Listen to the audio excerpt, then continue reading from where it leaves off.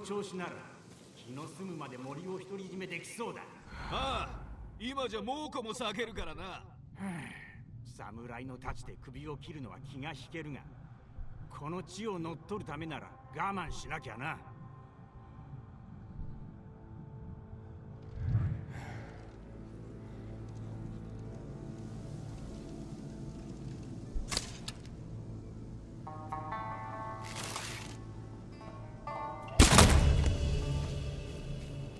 い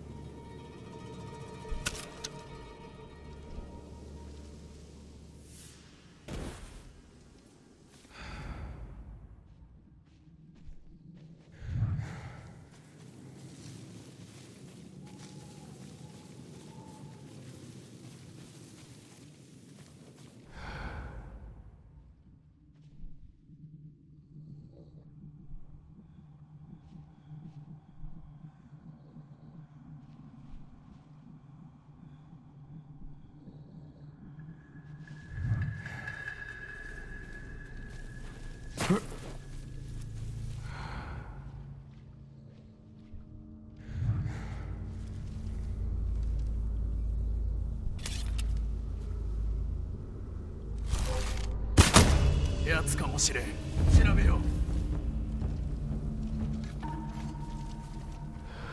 う。やはり死んでる。堺の仕業だな。俺も聞こえた己ら。扇を受けろ捨てろ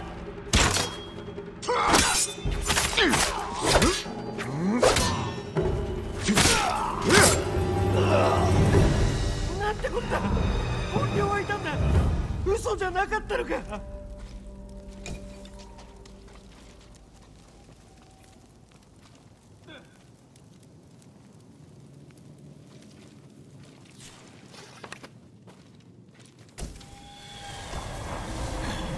これで落着だ。